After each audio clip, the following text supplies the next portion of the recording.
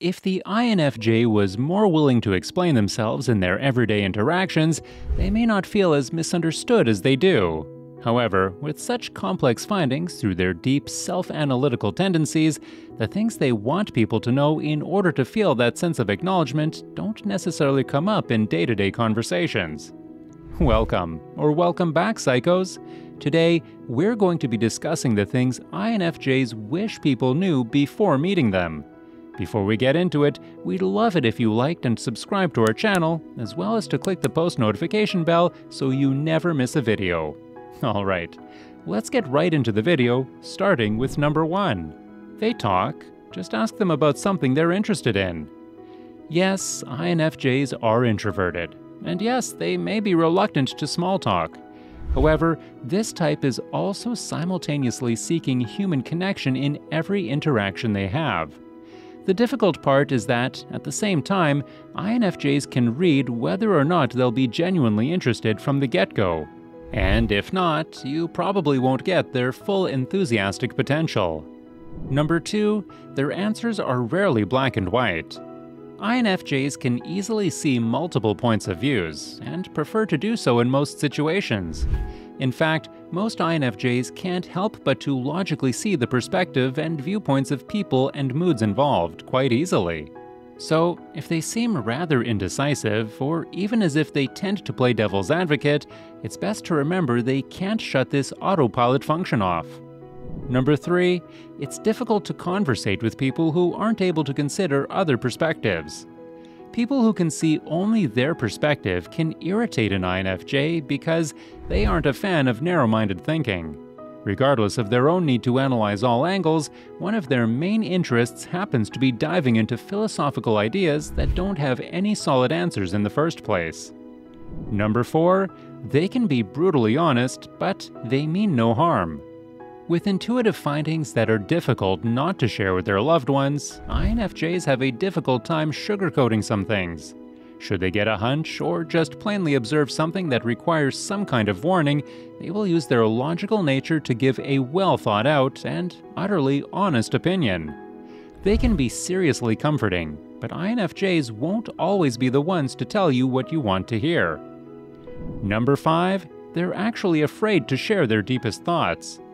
The reason INFJs are hesitant to share their deepest thoughts is because they fear the criticisms that could come with that exposure. They don't always admit it, but they take other people's viewpoint unnecessarily seriously at times, hence why they only seem to open up to people that they truly trust and love. Even then, they'll still have regrets. Number 6. They do have a silly side beneath their seriousness. Speaking of only opening up to those they trust, it's the same thing when it comes to an INFJ's surprisingly silly side. With a rather serious exterior, when this type does actually step away from their deep thoughts and allow themselves to let their hair down, even those who think they know an INFJ well can be rather taken aback. Number 7. They often contemplate what the end picture looks like. Future focused with a struggle to stay in the present moment, it's no wonder why INFJs are often stuck wondering what will this all amount to when all is said and done? In fact, some INFJs think about this on a daily basis, making that very question a seemingly difficult distraction to overlook. This means every decision is influenced by an underlying wonderment of how it will ripple into the world, which can make them seem rather indecisive. Number 8 they are terrified of hurting feelings. Speaking of the ripple effect, INFJs try to avoid hurting others' feelings at all costs.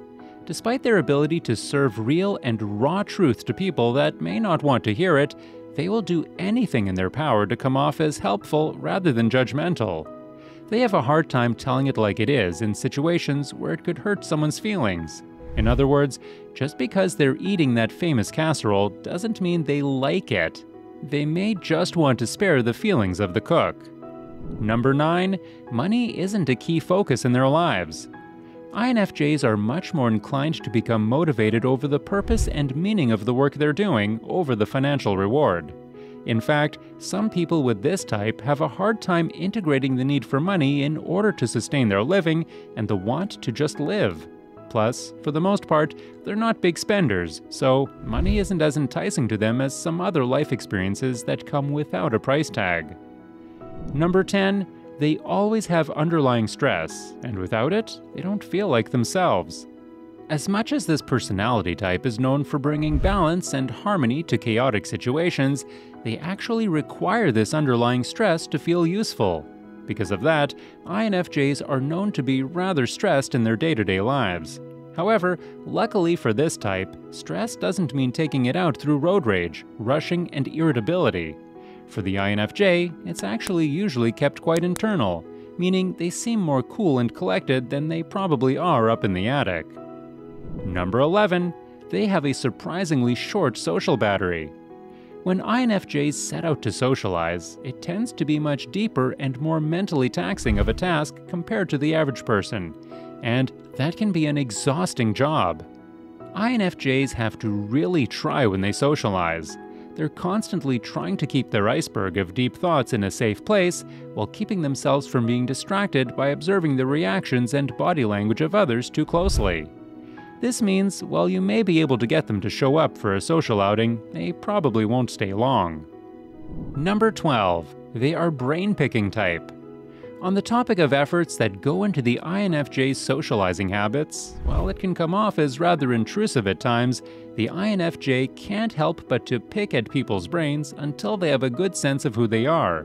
Besides that, individual people, as well as humanity as a whole, really catch the attention of the INFJ.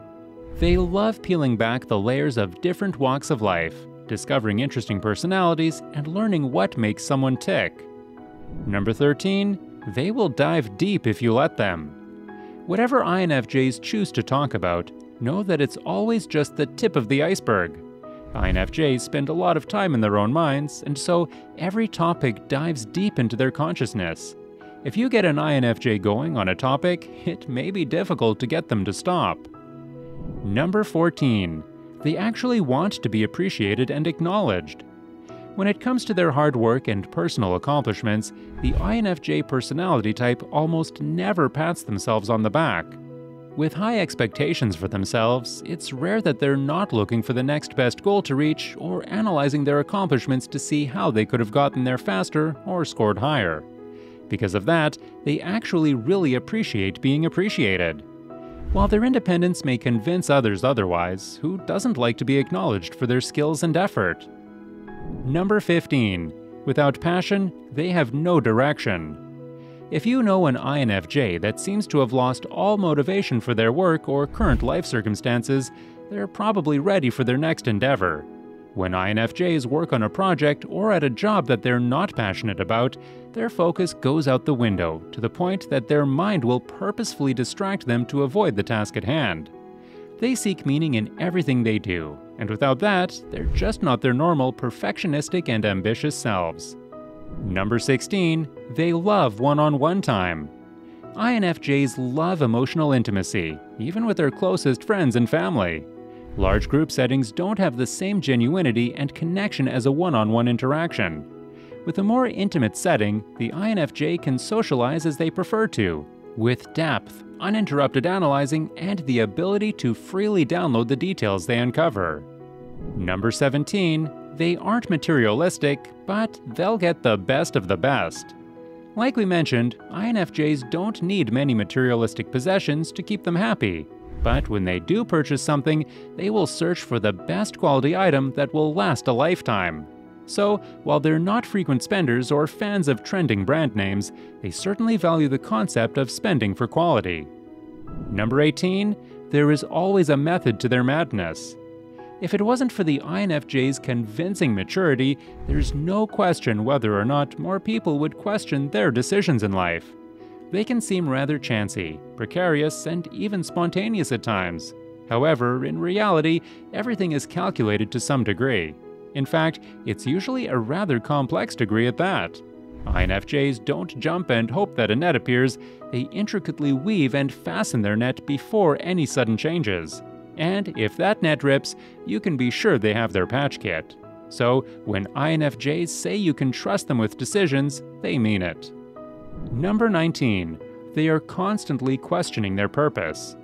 as most of us do, INFJs often ponder about what they should be doing in the world, and if what they're doing is what they're supposed to be doing. For this type, however, the need to find purpose is felt so strongly that they can easily become dissatisfied in life when they feel like they're not making strides towards their long awaited discovery. And with that comes our last point. Number 20. Their dissatisfaction is their biggest motivator and their worst enemy. What is considered to be good enough is almost never good enough to an INFJ. Sometimes this can suck the fun out of life, However, at the same time, just like that underlying stress they're so used to experiencing in life, dissatisfaction has its place in how the INFJ feels accomplished. While it can seem like a rather paradoxical concept, this discontentedness can inspire them to make the necessary changes. In other words, a dissatisfied INFJ is nothing to be alarmed by. Well, psychos, that's it for today. Before you go, let us know in the comments below of something you wish people knew about you without having to say it. Also, make sure to leave us a like, share with your friends, and also subscribe to our channel so that you never miss a video.